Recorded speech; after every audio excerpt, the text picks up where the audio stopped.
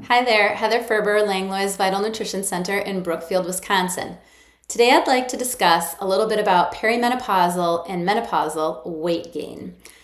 This is a challenge that I hear about frequent, frequently in my practice, and I truly do empathize with those who are struggling. There are several reasons why we see this happen um, as we age. As we lose our progesterone and our estrogen, our body becomes much more resistant to our own insulin. And also, as we age, we see that um, we have a decrease in muscle mass and our ability to build muscle mass.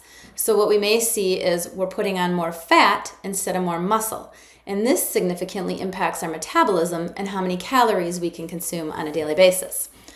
So, yes, I know when we all ate ice cream back in our 20s, every single day for dessert, it didn't matter because our hormones were really healthy and our metabolism was really strong.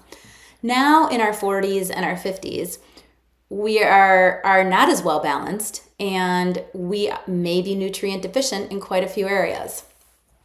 I do see a lot of nutrient deficiencies as they pertain to magnesium, the B vitamins, um, vitamins A, C, D.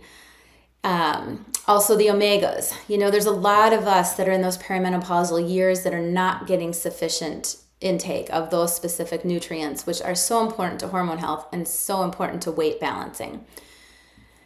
I personally believe that nutrition and these nutrient deficiencies are the most important piece of balancing weight gain for perimenopause and, and menopause and beyond. So, you know, what can you be doing to help yourselves in these situations? Well, Think about balancing your blood sugars. You should be thinking about balancing your blood sugars all the time. Fat, protein, and fiber. And fiber is also your carbohydrate. Okay, those are your three big macros your carbs, your protein, your fat. Those are your energy sources that help build good structure in your body. So you want to ensure that you're getting enough of your macros. You also want to ensure that you're getting enough of your micronutrients, which are your vitamins and minerals, because those are the little spark plugs that are responsible for the thousands of chemical reactions that take place in our body on a daily basis. So you want to optimize those two categories. So think about balancing your blood sugars at every single meal. Find a way to uh, address those nutrient deficiencies. Okay, there's ways we can do that in the office. The third component is find ways to better manage stress. You know, we all need outlets to be able to relax and restore adrenal function. So that is an important piece of the equation as well for managing the weight gain. And for some of my clients, I do find that they need to dig a little bit deeper into their gut health and what types of foods they're consuming. You know, do they have some type of systemic inflammation that is all process that's already going on that needs to be addressed? What is their liver health like? So those are the pieces of the food side of things that I'm always thinking about to help clients minimize the weight gain. There are some other components that do play important roles. I'm always encouraging clients to move your body every single day.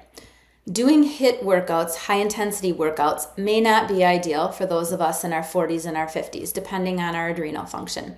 We may need to adjust our workout plans, but still, overall, we do need to move our bodies every single day. We may need to uh, consume fewer calories. If we are losing muscle mass and we have more abdominal fat, we are not going to burn calories at the same rate that we were previously burning them when we were in our 20s and our 30s. I also suggest limiting carbohydrate or processed carbohydrates and sugar. And also in that category fa- falls the alcohol. You know, minimizing the amount of drinking also definitely helps to maintain a healthy weight during the perimenopausal years. And the last piece, seek support. That's what we're here for. There's lots of different avenues that people can approach, but I do believe nutrition and nutrient deficiencies is something that must be addressed in order to minimize perimenopausal and menopausal waking. Hope to see y'all soon.